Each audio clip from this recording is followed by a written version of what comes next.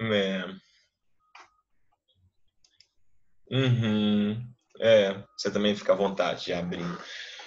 Agora, se não.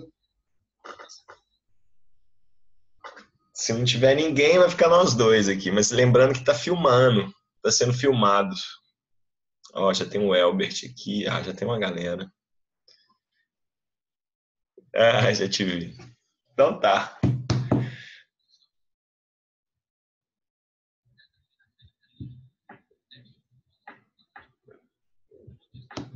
Isso. Precisa não, acho que é bom. Dê uma olhada aí.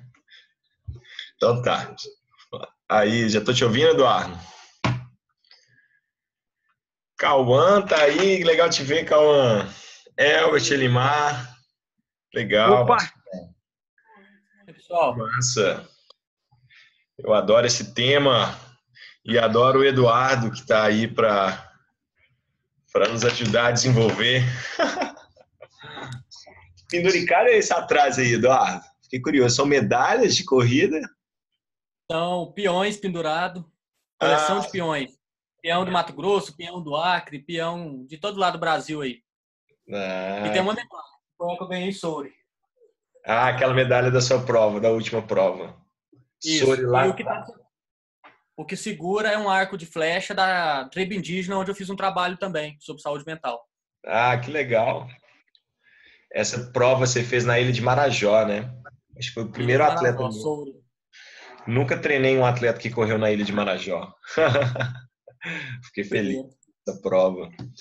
Bom, legal. Deixa eu. Bom, só lembrando vocês que, que essa conversa está sendo gravada. É, e então e vai para o nosso YouTube. É, se alguém tiver algum problema com isso, me dá a notícia aí para a gente editar, se for o caso, né? Ainda mais hoje que a conversa é vai ser sobre saúde mental, então pode ser que alguém se exponha Aí eu não vejo problema nisso para mim, assim, eu posso me expor até certo ponto, mas talvez alguém se incomode depois, aí só me falar, Yuri, não queria que fosse para o YouTube a minha parte ou a minha fala, tá legal? A conversa vai, vai funcionar assim, eu vou primeiro apresentar o Eduardo, depois a gente vai passar por uma sequência de perguntas e, re, e respostas, e depois a gente vai abrir para participação, da, da galera. E aí, para participar, você pode, você pode participar no meio também, é só você levantar a mãozinha, tem um, tem um, mãozinha aí que você pode levantar e eu chamo vocês. Mas se vocês quiserem esperar, vai ter um momento destinado só para pergunta e resposta. Combinado? Legal? Beleza, deixa eu apresentar o Eduardo então para vocês. Eduardo Andrade, o Eduardo ele é um, um meu atleta desde janeiro, Eduardo, ou final de dezembro. Agora fiquei na dúvida. Ah, foi o ano passado. É. Ou novembro ou dezembro. Esse código tá sem câmera? Esse iPhone é assim. meu Ah, tem gente. Eu vou multar aqui quem estiver falando assim, que não for pra gente. Não sei quantas pessoas. Ah, que tá tranquilo. E o Eduardo, ele é psicanalista e escritor. E, e ele é uma figura muito interessante. Eu gostaria de ler para vocês só um, um dos feedbacks que ele deu no treino. Eu adoro ler os feedbacks dele. Ele sempre coloca poesia, ele sempre faz uma reflexão em cada treinamento.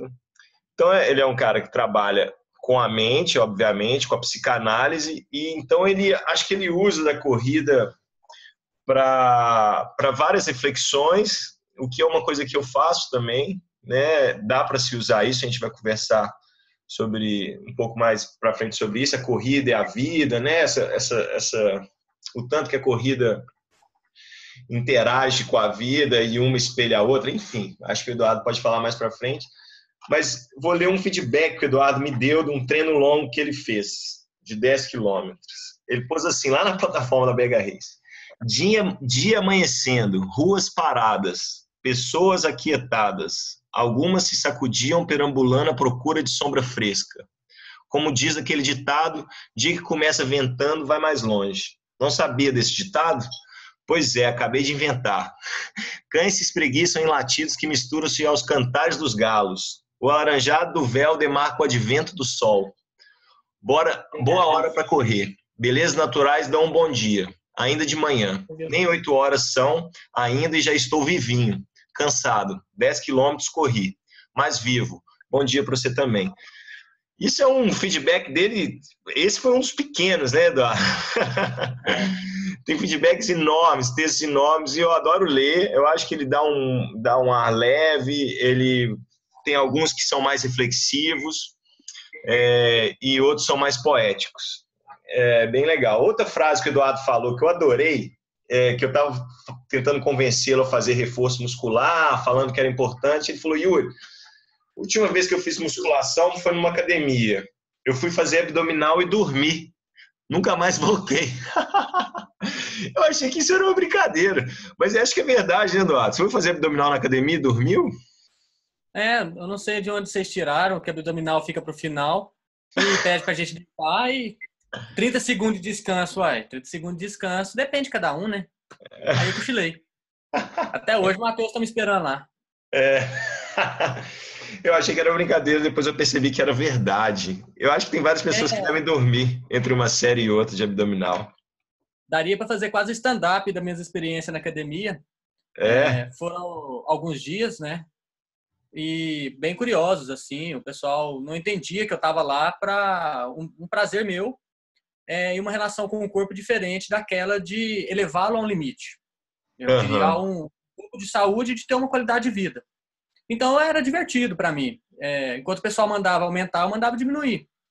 Né? Vou sofrer dor ali para quê? Eles ficavam disputando, é, olhando uhum. no espelho. E quando eu chegava, eu colocava Queen para tocar. E uhum. geralmente o pessoal ficava bravo. Então, assim, não, não, deu muito certo, não. é, no ambiente da academia, acho que vale, vale uma conversa só sobre isso, né? Academia. Mas, enfim.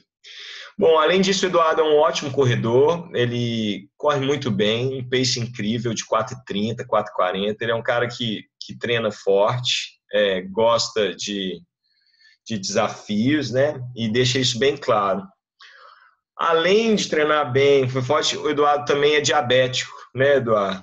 E lida é. com isso de uma forma muito responsável. Ele coloca nos feedbacks dele é, a, a glicemia todo treino e o que eu tenho percebido é que está estabilizando, né, Eduardo, cada vez mais, assim, acho que seu corpo está adaptado. Enfim, é um cara muito legal. Ele tem vários livros interessantes, com títulos interessantes, pelo menos, eu não li nenhum, mas com títulos ótimos, como. Vai falando, Eduardo. Livrai-me li... de todo normal, amém. Livrai-me de todo normal, amém. tem um é... sobre tem sobre educação também, né? Porque é um tema. É, é técnico, né? Psicanálise e educação, que está na segunda reimpressão já agora. Tem formiga, porque eu descobri a diabetes devido a formigas açucareiras no vaso. Uhum. Né? Aí eu fiz homenagem a elas. Uhum. Tem é, o da, a doença crônica e a crônica da doença também, não tem Isso, uma... que é o risco de vida. É, é, risco de vida porque as pessoas confundem, né? Quando descobriram que eu tinha diabetes, perguntaram-me se eu tinha risco de vida. Eu falei, ainda bem. Mas, na verdade, eles estavam perguntando se eu tinha risco de morte. Igual, por exemplo, o metrô do Rio, no Rio de Janeiro, tem lá a placa, né? Não pise no trilho, risco de vida. Quase pulei. Teria que ser não pise, risco de morte. Há um erro aí. Então, eu brinquei no título também. Ah, tem vários erros em relação à saúde também. Né? Hospital cuida da saúde, né? não sei muito bem isso, assim, cuida muito mais da doença, né? É. Mas legal, vamos, vamos começar com as perguntas. saúde pública, né? É... Existe doença pública. Vira uma fofocaiada danada. Exatamente. Bom, Eduardo, vamos então é, começar a sessão de perguntas e quero ouvir o que você tem a dizer sobre essas perguntas que eu levantei. Por que, que você acha tão difícil praticar exercício físico regularmente? uma vez que já é comprovado em inúmeros estudos que o exercício faz bem, que o exercício só traz benefícios, assim, né, quando bem orientado. Por que, que é tão difícil as pessoas conseguirem treinar regularmente nos dias de hoje? Bom, nós podemos pegar duas reflexões básicas, que é a reflexão do comodismo, da preguiça é, e também do desejo. Vamos primeiro pela do, do, do comodismo da preguiça. A preguiça, de certo modo, ela movimenta o mundo. Tudo que nós fazemos, secundariamente, recai no aconchego, recai no prazer de receber as coisas. Qual que é o auge que nós temos da riqueza maior? É um cara deitado recebendo uvas na boca. Isso você vê em filmes, você vê em vários lugares. E encarar essa lógica de preguiça é muito complicado, porque a pessoa acorda, ela vai ter que se animar, ela vai ter que se agitar, colocar o corpo a trabalho, abandonando o aconchego que ela está quase de útero mesmo ali no, no, no, travesseiro, na coberta, naquela, no quintume da própria cama, do próprio ponto. Então, esse ponto da preguiça, se você olhar as invenções humanas, elas são para movimentar e criar um pouco também da lógica de uma economia. Nós somos econômicos. O corpo é econômico. A gente sabe desse funcionamento. Então, a mente também é econômica. Ela, o sintoma psíquico é econômico. Ele vem no lugar mais fraco. Então, essa economia, em nome dessa que eu chamo de preguiça, movimenta o mundo e muitas vezes estabiliza o sujeito. A gente cria controle remoto para não ir na TV toda hora, clicar. A gente usa o carro para ir na esquina comprar um pão, porque tem preguiça de caminhar, de gastar sua energia, de exercitar. Então, nós temos essa lógica colocada que pode estagnar o sujeito até mesmo nos propósitos dele. O que acontece? Mentalmente, o mundo acontece. Quando nós fantasiamos, quando nós pensamos, o mundo está acontecendo. No nosso psiquismo, não no real. Então, se eu penso, igual os adolescentes, eu vou numa festa, vai ser uma festa muito boa, comprei o ingresso. Não, a festa vai ser boa, vai acontecer isso, a festa vai ter aquilo, a festa está começando para mim. A festa nem chegou no dia. Mentalmente ela está começando. O dia que chega na festa, muitos desistem. Chega na hora e fala, não vou mais. Por quê? Porque já realizou tudo aquilo na mente, tudo aquilo, e depois não se coloca ao trabalho. E correr é se colocar ao trabalho. Aí a gente pode poetizar que é um trabalho sobre si mesmo, que é um trabalho sobre o ritmo de cada um, que é um trabalho do objetivo, que é onde a gente chega no segundo ponto difícil, que é o desejo. O desejo humano, ele é para a psicanálise da linguagem. Ou seja, a gente tem que reinventá-la a todo instante a partir de uma busca. O que, que eu desejo? Eu desejo algo que eu não tenho. Eu desejo algo que eu tenho que buscar. Você lembra da era do gelo, aquele bichinho, quando ele pega a, a noz dele, ela escapa? O desejo humano é aquilo. Sempre que a gente alcança o desejo, ele se renova. O desejo ele é sempre de um porvir, é sempre de uma busca, de uma falta. Quando você não tem, você deseja e vai atrás. Quando você tem, você pode entediar.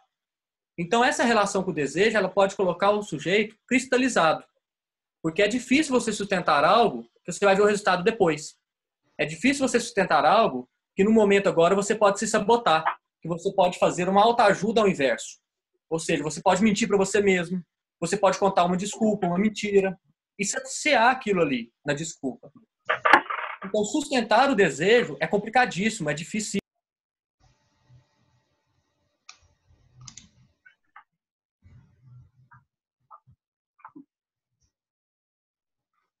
Peraí, Eduardo. Peraí que tá, ficou mudo. Eduardo, ficou mudo, agora voltou. Voltou? A, o último que, que fez, é, saciar o desejo foi a última parte que a gente ouviu. É, saciar o desejo, assim, que é insaciável, muitas vezes nos faz arrumar desculpa a nós mesmos. Nos uhum. faz mentir para nós mesmos, sabotarmos. E o desejo é sempre do porvir e da primeira vez. Você que corre maratona aí há bom tempo. Toda maratona é única. Toda maratona ela pode ter os mesmos quilometragens, ela é diferente. Seu ritmo é diferente, o seu posicionamento é diferente, o seu dia é diferente e o seu desejo é diferente. A sua meta de busca é diferente. Agora, arcar com isso de que está algo no depois, que é difícil para o humano sustentar rotineiro. A nível da consciência, do pensamento, nós temos a tentativa de controle. O ser humano tenta controlar tudo. Tenta controlar pelo pensamento e pela racionalidade. Você já viu aquela frase coberto de razão? Pois é, a cobertura, a razão é uma cobertura. Ela é superficial, ela é em cima. Ela vem para tamponar algo do afeto, do desejo, do movimento. Então, o corredor, muitas vezes, o humano, usa dessa racionalidade excessivamente e, não, não vai ao, ao movimento. Então, ele deve se provocar na linguagem. Isso é difícil. Por quê? Hum. Porque no outro jeito, ele já tem coisas mais fáceis de achar. Quando você abre a internet, se você quer um corpo mais modelado, tem promessas e promessas lá. Você abre lá, tem coisas fácil, rápido, barato. A gente sabe que não tem efeito, mas brinca com a ilusão do sujeito. Por quê? Porque ele quer alcançar um objetivo, mas muitas vezes não quer pagar o preço de chegar nesse objetivo. Então, por isso que muitas vezes é difícil correr. Porque ela é sempre correr atrás de um desejo. É sempre correr e se desassossegar de um incômodo que você está se realizando. Então, tem os dois pontos. O ponto zero, que é o incômodo que você já está ali, mas é um incômodo que você está habituado. Você permanece nele para não ir na novidade. Correr é sempre novidade. Você não sabe se vai machucar. Você não sabe se o carro vai quase te atropelar, igual acontece comigo. Você não sabe se você vai ter que trombar com o quê, se o seu ritmo vai dar cãibra, se você vai bater seu recorde, o que, que é que vai acontecer. Então tem uma coisa da novidade aí que você tem que pagar para ver. E a gente paga correndo, não é só com dinheiro. A gente paga correndo é com esforço. É com encarar isso aí e bancar o preço desse desejo. Esse é uma, essa é a grande dificuldade do humano para tudo. Ele sabe que faz bem, ele se cobre de novidades, ele se cobre de raciocínio e se retira de cena. Pelo excesso de pensamento e a pouca ação. Então dá para a gente pensar essa dificuldade por essas duas vertentes. Uhum a preguiça e o desejo e a dificuldade do desejo. A preguiça no aspecto de se manter estável, né? Uma vez eu vi o Drauzio Varela falando que todo animal mamífero, principalmente, ele é, dorme muito, né? Ele tem a, a história de, de, preservar a energia. É, uhum. E você falou isso que isso rola mentalmente também, né? O que é bem legal. É, a, a, as pessoas não querem pagar para ver a novidade também, né? História, não, enfim. E o que agora a pergunta óbvia que vem depois disso é: e como que a gente vence esses dois esses dois tópicos que você levantou? A preguiça e, e a procrastinação do desejo, né? Sim. É porque tem a diferença do desejo ser uma busca com ele ser procrastinado, né? Ele hum. sempre para amanhã, você não tem desejo, você não tem a busca. Ele é anulado. Ele é para amanhã e pronto. Ele, como busca, parte de um movimento. Como é que eu vou buscar sem me movimentar? Então, o desejo em si, ele nos compromete. Então, como fazer para sustentar esse desejo? Primeiro é honrar as próprias palavras. Esse é um exercício importante. O ser humano ele tem uma facilidade de mudar as próprias palavras com ele mesmo. Se eu faço um acordo com o outro, muitas vezes eu cumpro. Se eu faço um acordo comigo mesmo, muitas vezes eu desacordo comigo mesmo. Uhum. Muitas vezes, então, eu falo ali, mas eu mesmo, ah, não, hoje não, eu começo amanhã, isso vai depois. Então, é pela linguagem que deve ser o primeiro movimento uma linguagem sustentada, uma linguagem que deve nos impulsionar. Parece pouco quando a gente fala assim, o poder da palavra na corrida, deve ser pouco porque nós temos muita ação. Mas antes teve uma história. Nenhum corredor começa sem história. Nenhum corredor começa sem um objetivo. Ninguém chega lá na pista e fala assim. Aliás, não fala e sai, correndo. Não é. Chega e fala, quero correr por alguma coisa. Tem uma linguagem aí, não dá para a gente anulá-la. Então é honrar a própria linguagem e pagar o preço que a linguagem nos coloca. O preço de ser faltante, o preço de ter que movimentar sem saber no que vai dar. O preço da não garantia. Eu acho que correr é um pouco isso também. Não tem garantia, a não ser que você vai se exercitar, você vai se mover. Mas você não sabe onde vai dar, não sabe qual vai ser seu tempo, qual vai ser o pace, o que vai acontecer, quais uhum. intempéries da vida terão. Então é apostar mesmo na própria palavra singular. A palavra é muito, muito pesada a gente sabe, quando ela vem nos, nos sabotar assim, de forma inesperada. Por exemplo, eu dou o exemplo do peso da palavra quando uma pessoa troca o nome da, do relacionamento atual pela ex. Aí você vê o peso que a palavra tem. Porque você vai apanhar, você vai ser xingado, alguma coisa vai acontecer. Você vai ter que se justificar. Mas por que aquele desejo a gente não dá esse peso de, de valor naquela palavra? Vou correr por isso. Ou nos objetivos da vida porque a gente é levado muitas vezes pela palavra do outro, não pelo nosso singular. O outro atravessa isso aí.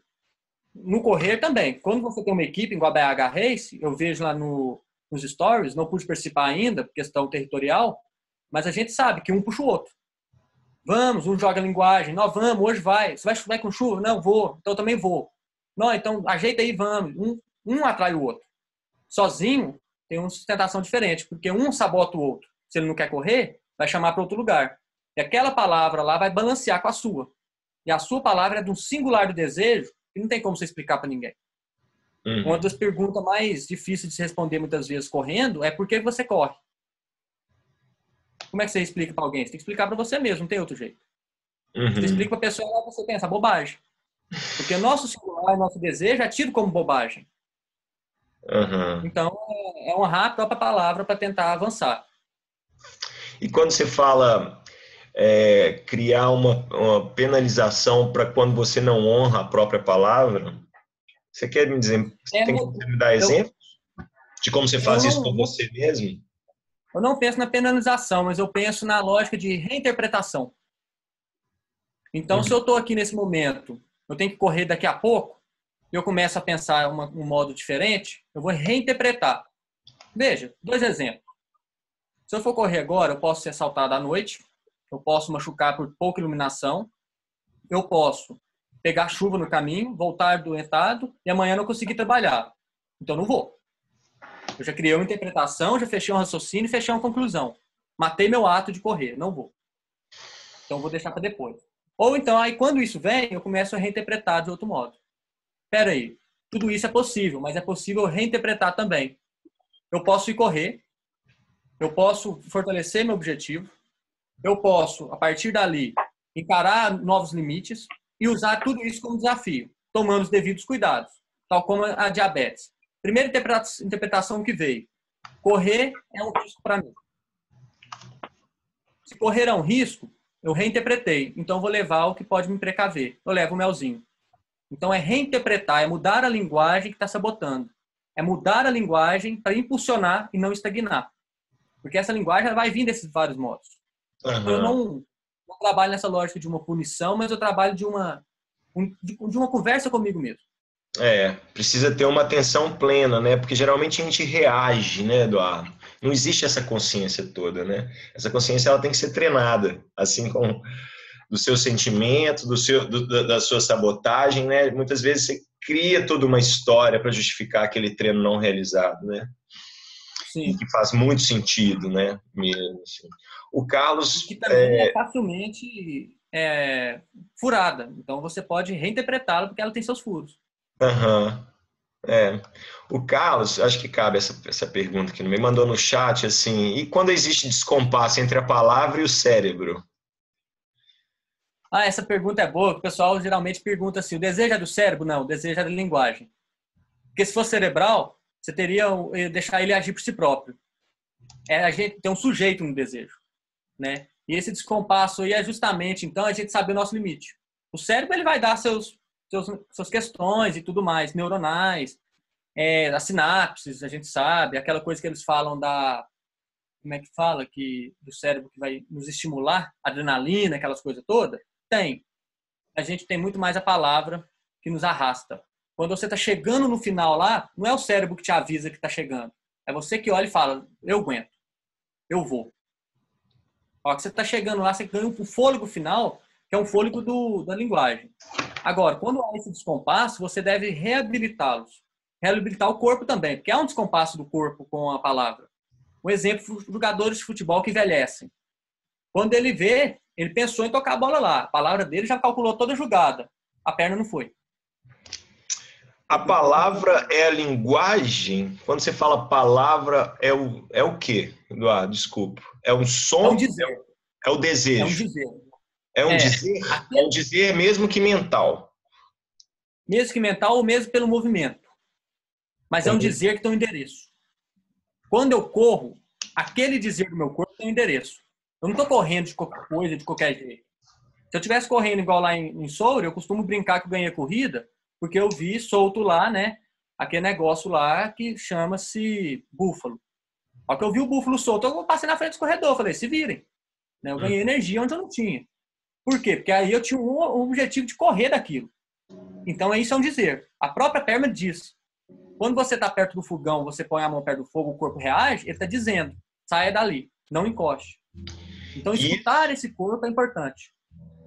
E isso, esse dizer, você separa do cérebro. Totalmente. Esse Totalmente. dizer é do sujeito, é do singular. Se fosse do cérebro, ele seria padronizado, basicamente. Se todo mundo quer estimulado de tal jeito, o cérebro reagiria igual. É do cérebro. Mas não é. É do singular de cada um. É de cada um sustentar aquilo e pegar como autonomia dele, responsabilidade do sujeito. Entendi. Uau! Entendeu? Mas eu acho que eu te interrompi na resposta do Carlos, né? Ou não? Bom, Carlos, você aí eu respondido? se quiser, vou abrir seu, tele, seu microfone aí. Você pode falar se você quiser. É, talvez quiser aumentar a pergunta, de boa. É, boa noite. Bom, primeiro é, é, parabenizar pela exposição, está muito bacana. Mas, assim, é, no mesmo gancho da minha pergunta, quando, quando eu desejo um determinado objetivo, por exemplo, me aproximar da linha de chegada, mas essa linha de chegada ainda me resta uns três minutos. Eu, eu condiciono meu cérebro, eu posso, eu posso, eu posso, mesmo com todo o cansaço, é, é a palavra que vai condicionar o meu cérebro a atingir o objetivo? É você sustentar esse objetivo, não desistir. Pode ser a palavra, eu, eu pode ser tanto essa palavra que você falou, eu posso, eu consigo, eu vou, que é muito usado na, no pensamento positivo, né, que a gente fala. Ou então você pode até xingar mesmo, como a Dercy Gonçalves falava, mas porcaria, para que, que eu vim aqui? Agora tem que terminar, mas ah, nem, mas mas está seguindo. Então, se você pega naquele momento e fala, eu não dou conta, e fala assim, para mim chega, não tem desejo disso mais, para mim já era, como é que você vai reagir para ir para frente? Muitas então, vezes, são... quando eu... ah. Então, são os mantras que condicionam o cérebro? Pode ser, é, pode ser uma boa, mas os mantras singulares, não aqueles que vêm pronto. O mantra que você cria. Mantra, Se eu chegar aqui te vender... Carlos. Mantra do Carlos. Isso. Mantra do, do Carlos. É, por exemplo, o meu pode ser que eu vou chegar no final e comer ali carboidratos. Sou diabético, preciso, quero, e é uma oportunidade. O seu pode ser outro. Pegar o mantra pronto é assassinar o desejo também. Não faz nem sentido. Então, essa lógica de que tem uma alta ajuda que não vai nos mover, não, nos move, porque é o singular que vai nos fazer isso. Você inventar um mantra que faz sentido para você. Pode ser até um mantra esquisito para o outro, mas é o seu. Isso sim nos move. Muito e obrigado. Aí... De nada. Obrigado a você pela pergunta. Aí, obrigado, Carlos. Eu acho que é. E aí, Eduardo, tem um limite, que é o corpo, né? O Eduardo, o Carlos, ele pode ter uma, ele pode ter o mantra do Carlos, ele pode ter a mente, o desejo pulsando ali, mas ele não treinou direito, ele está acima do peso, né? ele não vai dar conta de fechar aquela corrida. E aí o corpo entra em colapso. Isso. Sim. Mas certo? em função de, muitas vezes, não escutar o corpo. Em função de não escutar o corpo. É, escutar a dor do corpo, escutar o, o, o incômodo do corpo, escutar é. o bambear do corpo. Então tem uma linguagem dita ali que a gente tem que parar para escutar também. E saber desse limite também, aí que pode entrar várias questões psicológicas que o sujeito pode começar a se punir. E não é tão ideal. O sujeito pode começar a se auto-recriminar por isso. Nossa, meu corpo machucou, meu corpo não serve ele pode começar a se punir nesse sentido. Por que, eu não me preparei antes? Por que, eu não. Ou ele pode usar disso de, ó, daqui para frente eu posso melhorar. Então ele pode usar isso para se punir, ele pode usar isso de impulso, ele pode usar isso para criar um sonho, traçar uma meta. Hoje eu não dei conta desse ponto, então eu vou chegar lá. Mas aí ele tem que ir atrás disso. Então a relação da linguagem ali vai fazer que ele desista ou que ele prossiga, ou que ele invista mais no treinamento. Mas compete dele reconhecer os próprios limites, sim. Todos nós. Senão realmente dá um colapso aí que foge do nosso controle. Aham, uhum. E eu acho também, e aí falando como treinador, que o condicionamento do corpo pelo desejo ajuda muito a, a montar essa fala individual. Faz Sim. sentido? Né? Total. Por é. exemplo, eu só posso ter um desejo hoje de correr os 10 quilômetros, de correr os 15 quilômetros, se eu tiver o condicionamento do meu corpo com a diabetes controlada. Esse é um exemplo. Se eu tiver um preparo das pernas também para isso. Porque senão o meu corpo vai gastar muito mais energia e eu, eu caio no caminho. Uhum. Então é isso sim, é fazer esse condicionamento para sustentar um desejo, entende? Uhum. Fazer o corpo trabalhar em prol de um desejo. Eu acho que esse é o grande, é o grande ponto. Fazer desse corpo uma ferramenta para alcançar um desejo. Fazer desse corpo uma linguagem de acesso ao desejo. Uhum. Reinventar uma... esse corpo para si mesmo. E uma linguagem individual, né? Que eu achei bem legal, né, Eduardo? Singular, sim. Singular. É. É. Isso é muito importante mesmo, porque a gente está numa era tão em, em, com tantos exemplos, né, vistos é, nas redes sociais. Então, as pessoas tentam se imitar, eu acho, um pouco, né? Uhum. É, e eu acho que, que as pessoas têm que entender o que elas são mesmo, né? Na individualidade delas, assim. É... Isso é importante. Bom, falando um pouco. E quando a gente pega a palavra do outro, a gente já pega algum. Tá ouvindo? Aham. Uhum. Pode falar. É. Quando se pega a palavra do outro, ou se pega algo pronto, você realmente acaba com o seu singular e você cai naquilo da preguiça, não do mover o desejo. Uhum, porque o desejo era do outro, né? Aquilo tudo era o outro, né? Não era o seu, né? Exato, é igual planilha. Se eu passar minha planilha para alguém, ela vai se, se danar, porque não é para feito para ela, da rotina dela, construído para ela, naquele uhum. sentido. Uhum. E como é que você constrói uma planilha? Começa pela linguagem e pelo corpo. Você pega as duas. Como é a sua rotina, você faz toda aquela escuta, vocês fazem um monte de pergunta e faz o teste do corpo. Uhum. Você tenta alinhar um, singular ali do sujeito nesse sentido. É. Para fazer tudo trabalhar em prol dele. O desejo, né? Que é a meta. É. Então a gente não pode pensar esse corpo como um corpo só de carne, porque aí a gente desabita ele, a gente entrega ele. Uhum. A gente uhum. tem que pensar no corpo que a gente pode assumir o lugar do sujeito dele. Bom, vamos falar agora é, sobre ansiedade e como a corrida pode nos ajudar. Por que, que a gente está tão ansioso, né, falando em, em, em sociedades, é, e, e, porque, e como que a corrida nos ajuda nesse aspecto? Provavelmente é um tema que você trabalha muito na psicanálise, né? Sim. A gente pode pensar a partir da raiz. Aí eu vou trabalhar três coisinhas assim que eu acho que nos interessa. Da angústia. A raiz alemã, ela nos fornece três caminhos possíveis: o caminho do medo, o caminho da angústia, o caminho da ansiedade. Isso tudo nos habita. O medo é sempre medo de algo. Medo de algo, medo de uma barata, medo de cair no buraco, medo de não dar conta de correr, medo de passar mal no caminho, o medo tem esse ponto. Trabalhar esse medo passa também pelo viés de uma interpretação, de uma mudança da significância daquilo, do significado. Mas o medo ele tem um objeto. O medo tem objeto de algo. A angústia, ela é sem palavra, ela nos aperta diretamente no corpo, na garganta, aquela coisa que nos aperta, você não sabe dizer, que ataca o corpo muito fortemente. Essa angústia pode deixar o sujeito sem deixar correr. A angústia ameaça de morte. Ele não consegue nem se mover direito, entra em pânico. Agora, a ansiedade, essa pode ser usada em prol de um sinal de alerta de avanço. A ansiedade ela pode ser usada em prol do corredor. Bom, vamos lá. Como que a gente aprende a andar? A partir de um interesse. O bebezinho aprende a andar para alcançar as coisas que não estão tá na sua mão.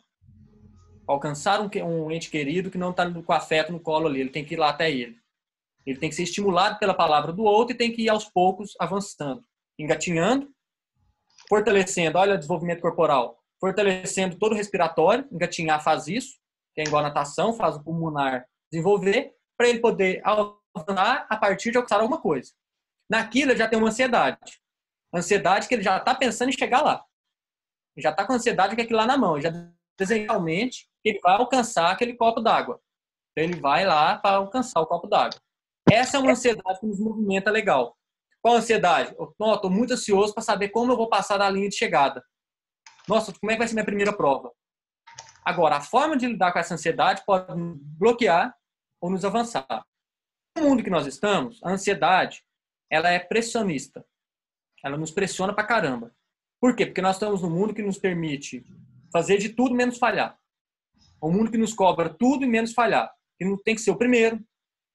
Olham, por exemplo, correr, eu acho que a gente tem que repensar isso, inclusive, muitas vezes.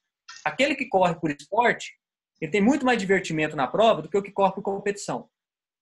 Porque o que corre por esporte é sacia o esporte de estar correndo. O de competição, se ele não for o primeiro, ele já se desmoronou. Então há de pensar esses dois pontos também. Essa cobrança, você pode falhar, algo pode dar errado. Então, quando você tem essa pressão de que você tem que ser o melhor, de que você tem que vencer, de que você tem que ser aquela capacidade toda que o mundo nos coloca hoje, você coloca para você um, um, um bloqueio a mais, um peso a mais uma ansiedade que pode te inibir. Se você corre por prazer, de forma mais leve, no seu, no seu tempo. Eu lembro que você falou na primeira corrida, não acompanhe os corredores de elite que provavelmente estão lá. né?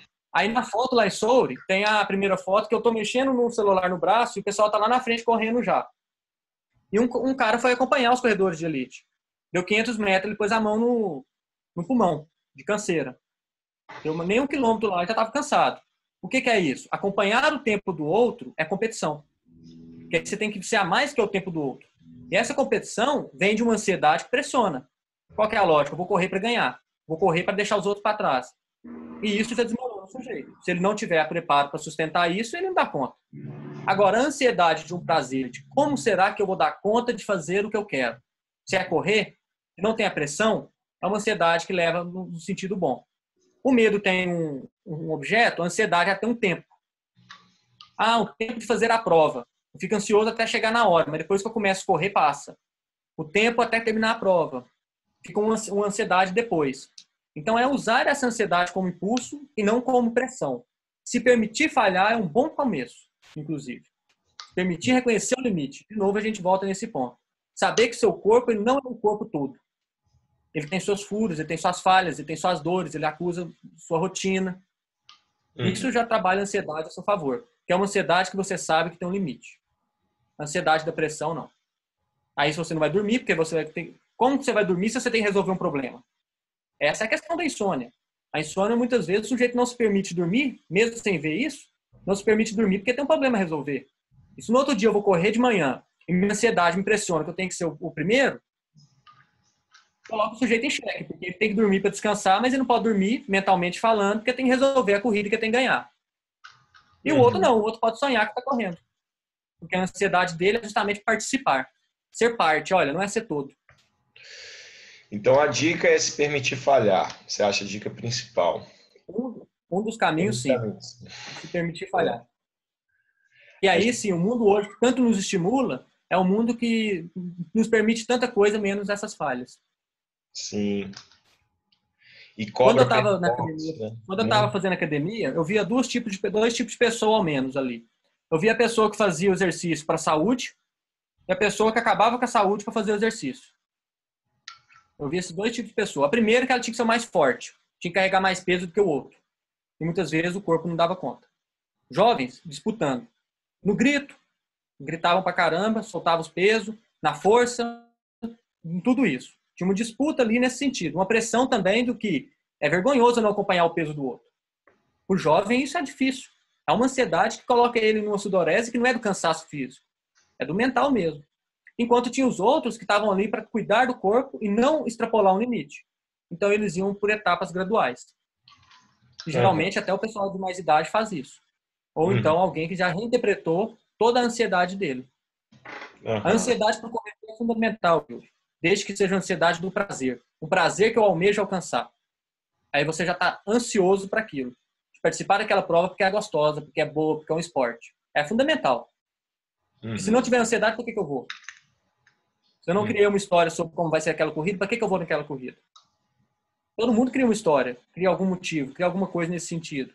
Agora, uhum. criar sob pressão, aí eu acho que já é outro caminho que bloqueia. Uhum. A criança não aprende a andar é devido aos prazeres. Uhum. Pegar alguma coisa na boca, o prazer oral ali é muito marcante. Uhum. É, eu tenho vários insights aqui, mas se eu, se eu ficar falando, a gente vai. Não vai sobrar. É, tempo. Mas eu vou te ligar para a gente conversar mais. Mas assim, ah, tem, tem, várias coisas que a gente pode abordar e que faz sentido. Eu quero ouvir o que o pessoal tem a dizer aí também. É, passando, eu acho que para a penúltima pergunta, Quais são os benefícios da corrida, na sua opinião, para a saúde mental? Você acha que passa um pouco desse,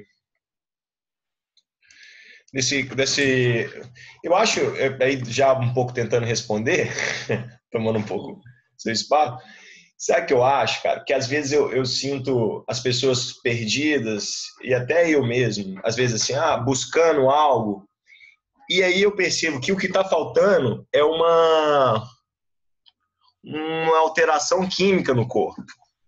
Então, às vezes, eu estou com alguma ansiedade ou, ou, ou, nervoso ou um mau humor, eu falo, quimicamente, eu acho que eu não estou legal.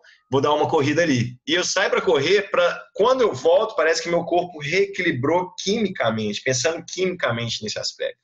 Eu já fiz, assim, de. Eu não estou sentindo eu tô, eu tô muito preocupado. Ah, quer saber? Vou fazer umas flexões de braço aqui. E aí eu termino, ou, ou, meditar também, eu acho que equilibra quimicamente, pensando quimicamente. Eu acho que você talvez tenha, tenha um lado mais mental, né? Uma explicação mais mental. Mas muitas vezes eu penso que, que as pessoas ficam buscando coisas longas, assim, um propósito de vida, ou, ou, um, algo maior, que na verdade ela o que ela precisa é dar uma equilibrada na química do corpo dela que foi feito, na minha opinião, para se movimentar, né? Esse corpo aqui durante milhões de anos foi foi criado e adaptado para se locomover e ele, ele se dá bem na, na química do caminhar, né? Enfim, essa é um pouco o que eu penso. O que, que você pensa sobre isso, o que eu disse e a pergunta? De forma interessante, você falou muito mais do mental do que da química. Veja, se fosse química, você correria pela química. Mas se você pensa que ela não está legal, para melhorar ela, você se esforça. Química é secundária. Uhum. Entendeu? Você busca a química como uma reinterpretação que você faz. Quando você fala que ela não está legal e vai atrás dela, você pode alterar sim a química, mas a partir de um movimento anterior. Um movimento de esforço seu. Isso aí quer mudar a interpretação para poder avançar. E isso muda a química mesmo. Estudos comprovam. Mas não uhum. é a química que nos move. Eu acho que a grande questão que eu, que eu quero trabalhar é essa. Não ficar refém da química e ser sujeito dela. Quando você faz isso, você não fica refém da química que está te falando para ficar deitado. Você muda a posição, você assume o lugar de sujeito e vai mudar a química. E não que ela te mude. Entendeu a, questão que eu, que eu, gosto de trabalhar? Entendi. Porque se fosse da química ela não tá legal, então eu vou ficar entregue. Mas não. Você ocupa o lugar de sujeito e vai modificá-la. Uhum. Perfeito essa, essa análise assim. Porque é, passa por aí. Pode ser a química, pode ser o dia, nossa, meu dia não tá tão legal, mas deixa eu correr então que eu vou ver os pássaros, que eu vou ver que vou ver alguma coisa, vou ver alguém, vou vou explanar. Vou... Você já viu o pessoal quando tem um sofrimento muito grande, que não dá conta de resolver o problema, que eles viram e falam assim, vontade de sair correndo? Uhum. Então, que eu olha acho... a função do correr. Só que nesse vontade de sair correndo, eles esquecem que eles vão junto. É. Não é a química, é a gente que vai. Então vai tudo com a gente. Só que ali você vai mudando as coisas. Quando você começa a correr, você começa um novo espaço. Correr é encarar uma novidade, é encarar uma rua que você não sabe como é que vai estar, uma árvore que pode estar caída ou em pé, pode ter fruta ou não, pode ter pássaros, pode ter poeira, pode ter. Então você começa a distrair com o seu corpo ali brincando e você muda as coisas. Você ah. muda muitas vezes o seu humor também. Então, nesse sentido, correr ele tem essa função, sim. Eu, eu acredito na, na, na, questão da mudança química, sim, mas como forma secundária do sujeito assumir seu lugar.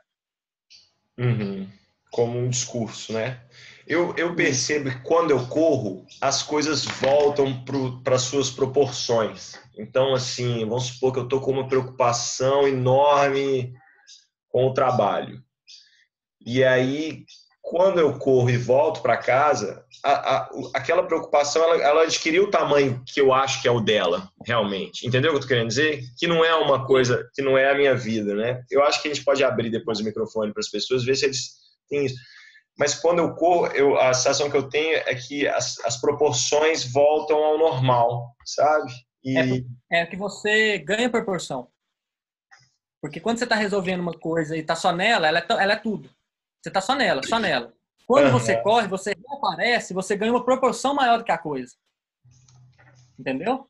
Então é nesse sentido, sim. Eu, eu também acho que funciona muito por aí. Uhum. Bom, a última pergunta antes de abrir para o pessoal, que é uma coisa que você tem muito, e eu tenho isso muito forte também, eu acho que é, que é corrida e cidade.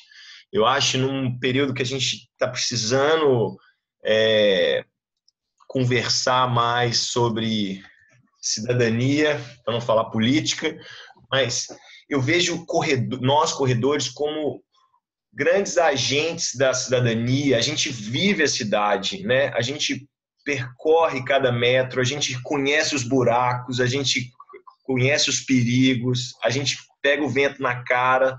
Eu acho que a gente pode falar o que é, é ocupar, né?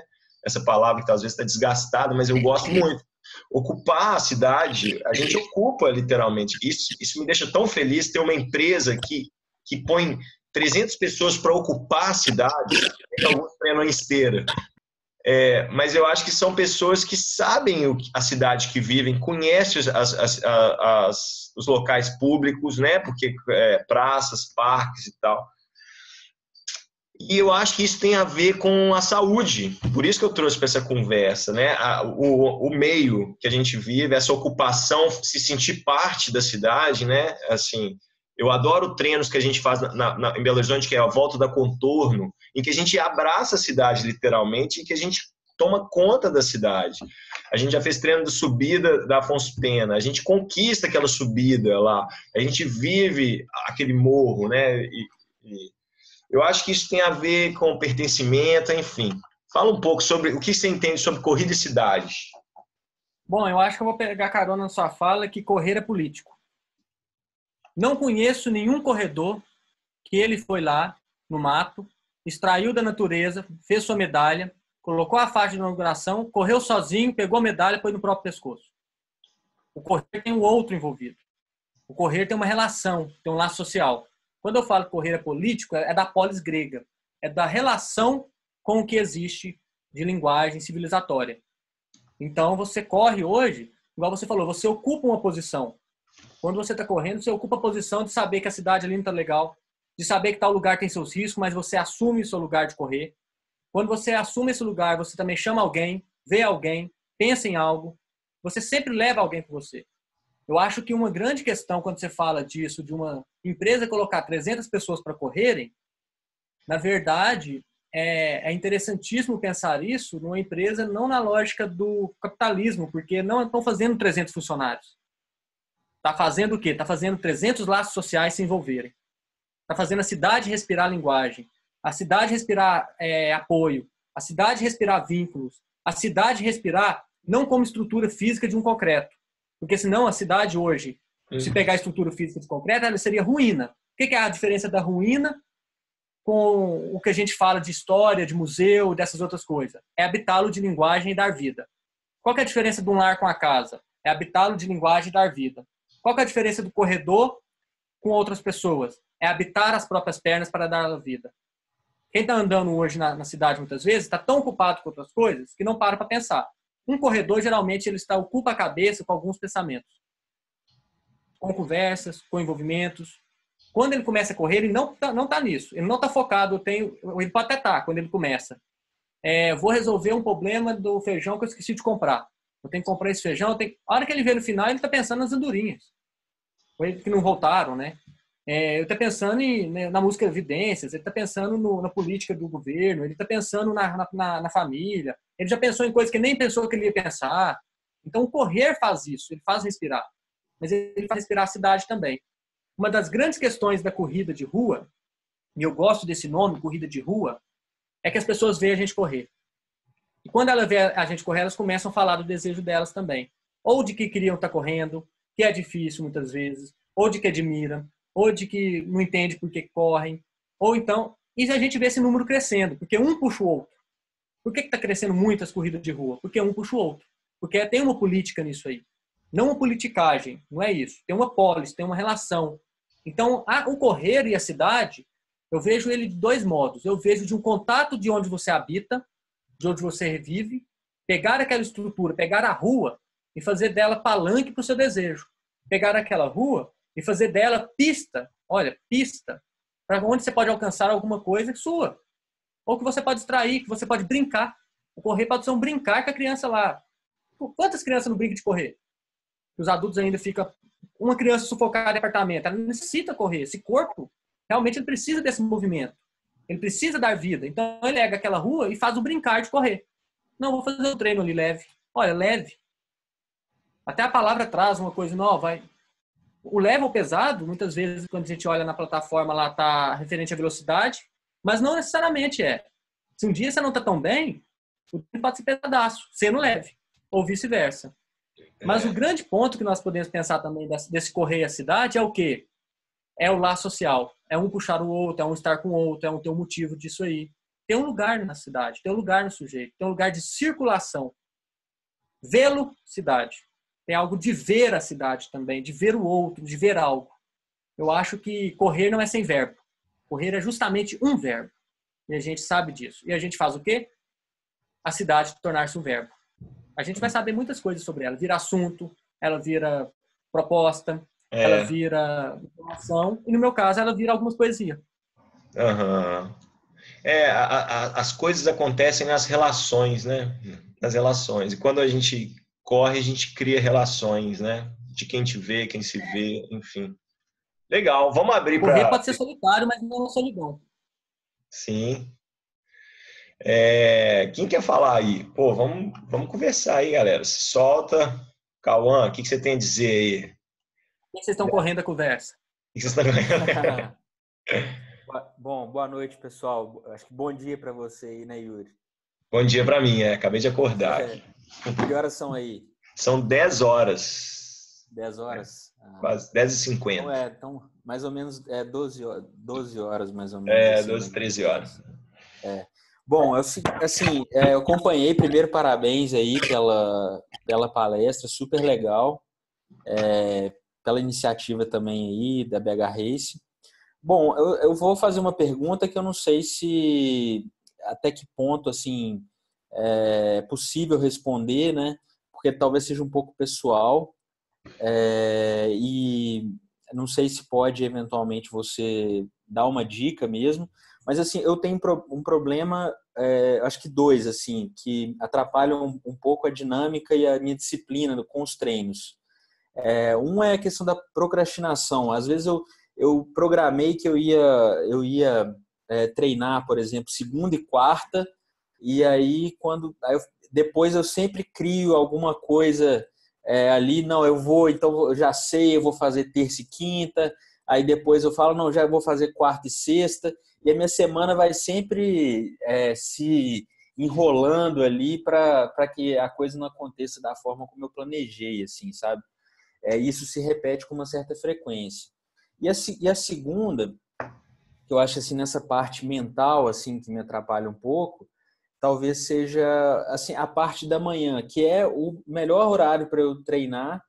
É, seria antes de trabalhar, porque depois a gente sabe que às vezes acontece um milhão de coisas e e a gente acaba adiando.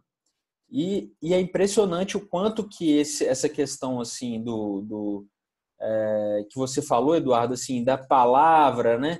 É, do quanto que a gente vai criando coisas internas assim. É na parte da manhã, na hora que eu posso ter, ter definido assim, não, amanhã eu vou acordar às sete horas, eu vou eu vou correr de tal hora tal hora, mas parece que quando eu acordo de manhã, é, assim vem uma enxurrada de pensamentos assim não, é melhor eu correr à noite, a minha agora não vai ser a melhor hora. É, eu, eu lembrei que eu tenho uma reunião, eu preciso chegar mais cedo no escritório. Eu vou criando coisas assim e depois eu percebo que na verdade foram várias desculpas assim, sabe? É, mas uhum. parece que de manhã, nesse horário de acordar, especialmente, é, a, o cérebro e, o, e, e, esse pensamento, essa palavra, assim, tem uma dissonância, talvez, assim. Você tem alguma dica, assim, para para um corredor indisciplinado como eu? É, boa questão. Eu acho que essa não é só sua, assim, a partir de um ponto, ela é sua, singularmente sua, do, do, das suas questões, mas ela também se aproxima, se resvala, se amálgama a de outras pessoas, né? É, eu, eu, costumo falar que eu, quando o pessoal vem me escutar falar em palestra ou em alguma coisa nesse sentido, que eles muitas vezes saem me xingando, porque não tem resposta pronta, mas faz pensar. Eu, eu gosto de Fernando Pessoa, então eu tenho desse sossego, né? E um desses sossego que eu queria te julgar, para você não precisa responder agora e serve para todos nós assim, quem estiver escutando aqui, é o que é correr para nós? O que é correr para você? Qual significado você dá para o correr? Porque no significado que você dá para o correr, você vai dar prioridade. No significado que você dá para o correr, você vai passar ele na agenda. Por que, que você cumpre o trabalho e você não cumpre o correr? Por que, que o trabalho uhum. você procrastina até uma data, mas cumpre? E o correr, muitas vezes, você atropela isso. Então, acho que está no ressignificar o que é correr para nós. E essa resposta passa por cada um. Essa é uma uhum. grande questão que eu sempre me pergunto. O que é correr para mim? Cauã, é peraí que eu vou interromper. Peraí que eu vou inter... Cauã, bora aprofundar, uai. Você, você, você topa responder o que é correr para você? Bom, topo. É, eu acho que para mim é qualidade de vida, é saúde, é, é, saúde física e é saúde mental também. Eu acho que, para mim, é, é esse conjunto de coisas. assim É claro que. Mas ele tem toda a razão. Eu acho que às vezes a gente não, não volta nessa pergunta, né? É, a gente sabe que, que isso é importante, mas não, eu acho que a gente tem que tentar trabalhar e relembrar dessa, dessa importância da corrida para a gente. Né? Pois é, é que é tão político correr que a sua resposta aí, ela nos faz um, um seguinte ponto. Tá, ela é bem-estar, era saúde, mas quantas vezes a gente tira momentos do dia para saúde e bem-estar? É. Porque quando a gente fala que é do trabalho, a gente tira. Mas para saúde e bem-estar, a gente acha que é uma coisa tão nossa, mas tão nossa, que fica para depois. Então tem é. esse campo também desse jogo. Outro ponto que eu gostaria de trabalhar na sua pergunta é quando a gente fala do recair, né? Não, hoje eu tive uma recaída, hoje não consegui treinar. Foi meu caso, viu, Yuri? Hoje não deu pra treinar. É, eu tive uma recaída, vamos supor. É não permanecer nela. É não ficar, fazer da recaída uma bola de neve. É tentar voltar para o lugar do sujeito. Igual o Yuri trouxe ali, de tentar voltar para. Vamos mudar esse negócio aí que está acontecendo aqui no cérebro, ou no corpo, ou na rotina. Mas chamar nós, colocar você no lugar do seu desejo. Valorizar o que é seu. O bem-estar e a saúde é seu. Muitas vezes o trabalho é a resposta ao outro. Né? É. Tem muita gente que funciona com cobranças. É, muitas, então, é cada um entender como se funciona para poder criar estratégias de cumprir aquilo. Uhum. É, eu, eu, vejo muito pessoal lá na, postar na internet, de hoje está pago, como se devesse, né? Mas se, se a pessoa que deve paga, então que deva e, e, e cumpra, e pague. É a lógica que se cria. Eu pego muito essas, esses feedback lá no Strava, aquele aplicativo, né, que trava mesmo, por isso que deve ser Strava, que negócio de vez em quando faz raiva. É, eu pego essas palavras de retorno para ver como a pessoa, o que ocorrer para elas.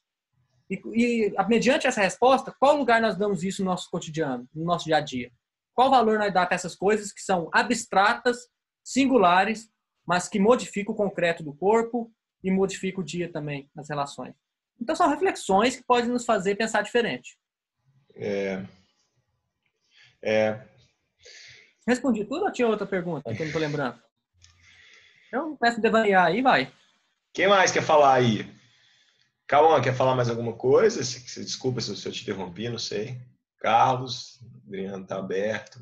Gabriel está aí, nosso treinador. Legal demais aí a, a fala do Eduardo, show de bola. Parabéns aí pelos comentários, pela explicação de tudo. É... Obrigado. Boa Pô, se ninguém tá falando, eu posso falar, hein? Eu também. eu Me acho pergunto assim... de vez em quando nas palestras, viu? Como é que é?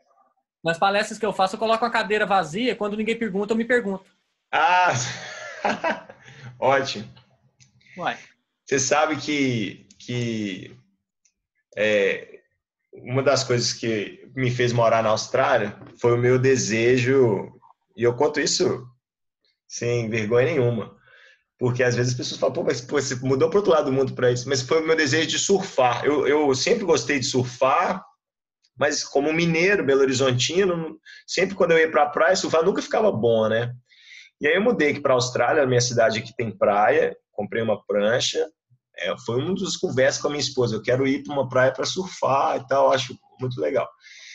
E aí eu conheci um amigo australiano que surfa comigo e eu ficava incomodado. Ele surfa muito bem e, e eu Cara, surfar é difícil demais, né? Essa coisa do esporte, né? Quanto mais você conhece o esporte, mais você admira quem é o profissional dele. Isso para tudo, né? Você olha o jogador de golfe, você fala assim: ah, golfe é tranquilo. Pô, vai jogar golfe lá, cara. Você, você, aí você fala: Tiger Woods é um, é um monstro, assim mesmo. Tipo o Gabriel Medina, cara. Hoje eu reconheço o que, que é o Gabriel Medina, porque eu tento surfar. Mas enfim, tentando surfar com esse meu amigo australiano. Cara, passou três meses, seis meses, aliás, hoje está fazendo um ano que eu estou aqui na Austrália. Com seis meses de surf, eu falei para o Tony, meu amigo, falei, cara, eu estou muito triste que eu não estou conseguindo desenvolver. Eu, cara, meu surf tá, tá assim, não faço manobra, só corro a onda, eu, sabe, não consigo é, fazer umas batidinhas simples, assim. Aí ele falou uma coisa comigo que na hora eu não saquei, que foi assim, Yuri, o melhor surfista é aquele que mais se diverte. Aí eu falei, ah, beleza, né? Tipo, nem liguei. Teve um dia que eu fui surfar sozinho, cara. Tinha uns menininhos aqui, aqui na praia, de uns 12 anos, estava na época de férias. Cara, os menininhos estavam com uma prancha de bodyboard e ficando em pé na prancha de bodyboard.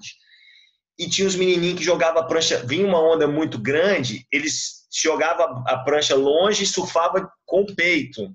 Aí depois eu vi um menino surfando de joelhos. Aí eu falei, cara, é isso que é o barato da história, sacou? Assim, é, precisou vir a infância me mostrar o que, que é o brincar e o que, que é o surfar bem. É, é isso, é se divertir, né? É, então, só quando eu tive esse, vi esses meninos surfando que eu saquei o que, que é pegar a onda e se divertir, assim, e já mudou, já me relaxei muito mais. Como a gente está focado, é impressionante como o sistema, eu vou culpar o sistema, não sei, minha culpa não, né? Mas o sistema de. E como eu tenho atletas assim também, que quer a performance, quer a performance, não quer se divertir, não quer lugares que, que, que trazem prazer, sabe? Assim, sem a cobrança da performance, né? Então, eu queria ser o Medina, eu queria dar aéreo e tal, sendo que o barato está muito antes disso, sacou? Assim, enfim. Fala. Nosso mundo fala muito essa, essa questão de, de competição, né? De buscar o resultado, a melhor performance, assim, né? E muitas vezes a gente deixa a felicidade, assim, de lado, né? Só buscando o resultado, ser o melhor e tal, né? Não curte a essência do correr ou de outras atividades ali. É, ou que está ao redor, né, Gabriel? E eu acho que isso é uma tarefa nossa, viu, de treinador, assim, puxar esse vetor, assim, de achar outros, outros desejos aí, sabe? Né, Eduardo? Não sei o que você acha também. Eu gosto de dar uns pitacos aí. É, nunca tive um treino que mandava eu ter, por exemplo, alcance três prazeres durante a corrida e me descreva quais são. Vem sempre lá, compra tal velocidade. Fica aí, o pessoal vai estranhar, mas vão repensar. Dica planilha também vir diferente nesse sentido, a gente vai entender alguma coisa. Cara, que legal! Genial! Genial! Vou fazer isso como um experimento. É, eu já posso que o cobaia é eu. Não, mas é putz, cara, que claro, olha só. Achei genial. Faz sentido mesmo, assim. Na corrida de hoje, a, o, sei lá, o foco é brincar de correr e reparar uhum. como seu corpo movimenta prestar atenção em você durante a corrida e me dar detalhes sobre isso. No final, a pessoa tem que dar um feedback, ela falar dela e não o aplicativo falar dela. Então, dela reconhecer ela e não o aplicativo reconhecer para você. Uhum. Então, isso também é possível se furar o sistema. Você sabe que o. Tem toda razão. Você sabe que o fartlek é uma palavra sueca que significa brincar de correr. Uhum. A palavra fartlek. Eu, eu, eu, gosto de buscar as origens das palavras e, e sim. E, e, e, o brincar de correr tem como muito, né? Outro dia eu passei na, há muito tempo atrás, eu passei na Bandeirantes ali na, na Belo Horizonte, né? Uhum. E tinha um cara correndo é, em cima daquelas bolotas que tem que separa a pista do carro para Aí eu, eu lembro que eu pensei assim, ó, o verdadeiro fartlek aí rolando, que era brincadeira do cara pular de uma bola para outra, assim, sabe? Sim. Mas legal. Quem sabe que e tudo isso é pedagógico, né? Quando você está nas ondas lá, você pega, não consigo fazer o básico, não consigo pegar aquela onda ali, não consigo pegar, mas brincando você aprende, né? O ABC também. O mais difícil é o começo, as, juntar as letrinhas. Depois que você junta, as palavras ficam mais fáceis. Depois, fazer texto é mais fácil. Uhum. É o ABC, mas você só pega na surpresa. Já viu que a criança aprende a falar mãe e pai, né? Quando eles estão lá, fala mamãe, fala papai. É na surpresa? Uhum. Porque tem um prazer na surpresa. E na corrida, talvez, a gente está perdendo esse prazer da surpresa, focado em algum resultado. Porque se você foca no resultado, você não tem surpresa naquilo. Se é. tem, é pouca coisa.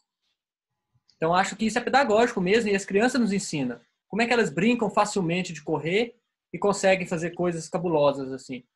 Uhum. É, eu culpei o sistema, né, Eduardo? Mas é porque às vezes também chega, chega o, o corredor chega todo transformado. E aí, como empresa, a gente fica querendo atender o, o, o, formato que o corredor chega, né? Quebrar isso.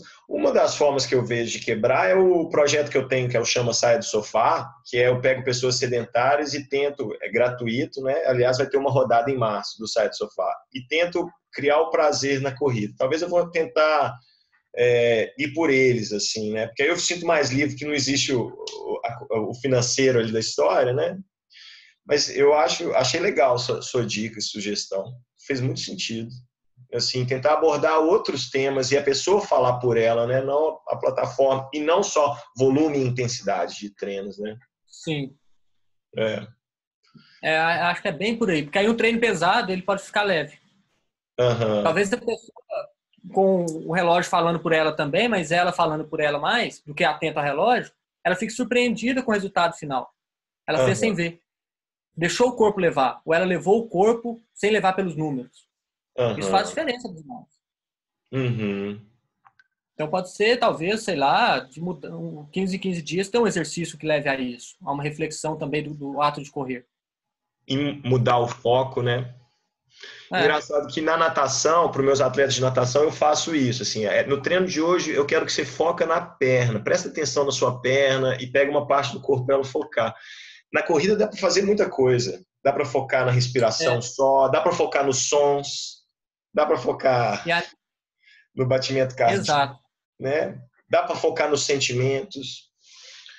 Eu acho e a nível de empresa, quem trabalhei com empresa há algum tempo também, é, quem contrata a empresa quer um resultado, não um método.